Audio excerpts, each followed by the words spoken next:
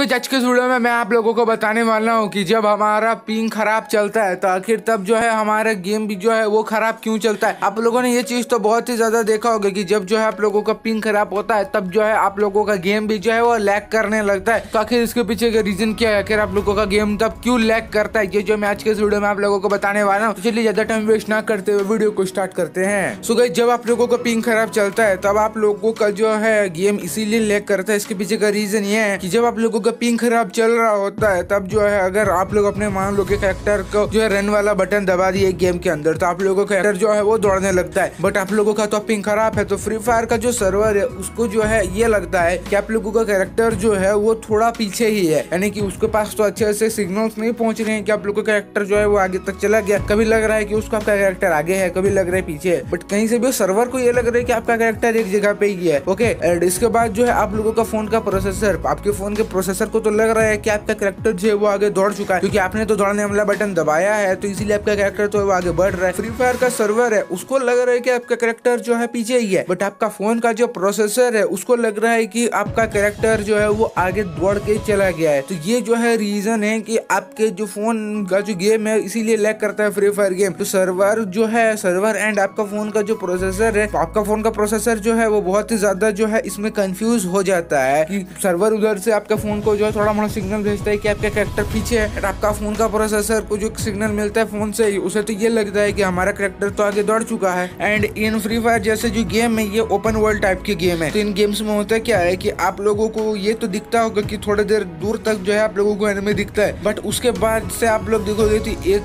जगह पार करने के बाद जो है आप लोगों को एनिमी जो है वो एकदम से गायब हो जाता है। तो इन सब में होता क्या है कि सामने का जो एरिया है वो आप लोगों का बनते रहता है। तो कोडिंग के टाइम गेम बनाने के टाइम पे जो कोडिंग किया जाता है, उसमें ऐसा सिस्टम किया गया है कि आप लोगों के सामने का एरिया जो बना बनाया नहीं रहता है, वो जो एरिया है, वो बनते रहता है। तो आप लोगों का फ़ोन का जो प्रोसेसर है, वो ये नहीं समझ पाता है कि आखिर कैरेक्टर अगर पीछे है तो मैं आखिर सामने का एरिया भी कैसे बनाऊँ? तो आखिर सामने का एरिया वो कैसे बन सकता है? बट उधर से जो है, आप लोगों का जो सर्वर है, वो तो बोलते हैं कि करेक्टर आ गया है तो उसे समझ नहीं आता आपको फ़ोन के प्रोसेसर को करेक्टर आगे या पीछे है। अगर आपका करेक्टर पीछे है तो आप मेरे को आगे का एरिया बनाना तो नहीं है। सर्वर बोलता है कि जो कैरेक्टर है, वो आगे है। तो उसे लगता है कि मुझे तो आगे का एरिया बनाना पड़ जाता है। तो इसी कंफ्यूजन के कारण से जो है, आपका गेम जो है, उस टाइम पे लैग करने लगता है। आपका जो फ़ोन का प्रोसेसर है, उसको यही नहीं समझ में आता है कि आखिर करना है ही क्या। आखिर कैरेक्टर जो है, आखिर है कहाँ से समझ ही नहीं आता है कि कैरेक्टर का पोजिशन क्या है। उसके बाद जो है, मुझे क्या करना पड़ेगा? इस कारण से जो आपका गेम जो है लैग भी करने लगता है। तो